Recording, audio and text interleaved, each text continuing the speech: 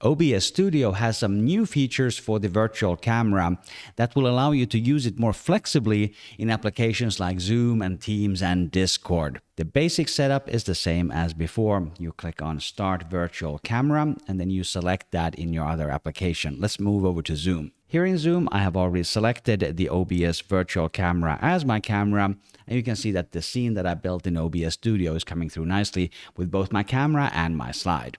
But here are the two new things in OBS Studio version 28.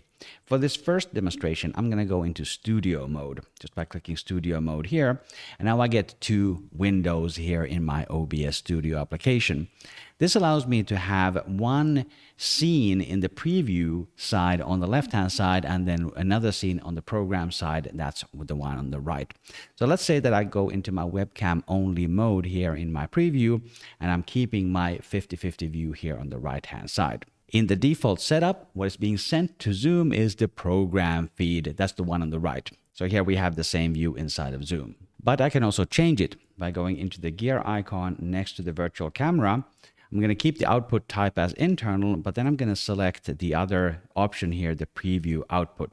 And as soon as I click OK there, this is going to change in Zoom because now in Zoom, we have the preview outputting here instead. That's the one with the webcam only and without the slide. This just gives you a little bit more flexibility. You can use the preview for the Zoom audience only, and then you can send the program feed as in the past to your stream or to your recording. For the second new feature, first I'm going to leave studio mode by clicking the studio mode button over there. And then I'm going to go into the virtual camera settings.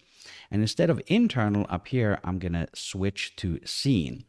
And now OBS Studio is actually going to ask me which specific scene do I want to send to Zoom. Let's pick this 50-50, which is already selected, but you can see that I have all the other ones there as well. So we're going to stick with 50-50. And now this is the only scene that is going to be sent to Zoom. Let me demonstrate. So here in OBS, I can switch to the webcam only view, or I can go to this one where I'm just in the corner, but none of this impacts what is happening in Zoom. Let's switch over. Here inside of Zoom, we still see the 50-50 view. And even if I use my keyboard commands to switch into the webcam only view, for example, in OBS, this is the only scene that is coming through in Zoom. Let's switch back to OBS. And you can see that this is now in the webcam only mode. And I can in fact use the keyboard commands to switch between the scenes here in OBS Studio, which is really powerful. And I can go to this that has only the slide and then switch back. If you want to copy this layout, go to markuspresents.com slash OBS.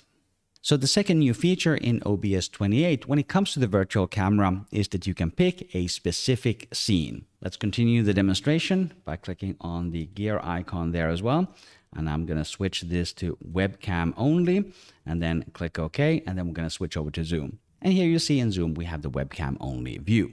What do you think of these two new features for the virtual camera in OBS 28? Uh, put your comments below the video. I would really be curious to see what are some use cases for these features. If you're using the OBS virtual camera, you probably also want to run audio through OBS. Click or tap the screen right here to watch my full video about how to set up audio perfectly in sync with your video with the OBS virtual camera and the virtual audio cable. Thank you very much for watching.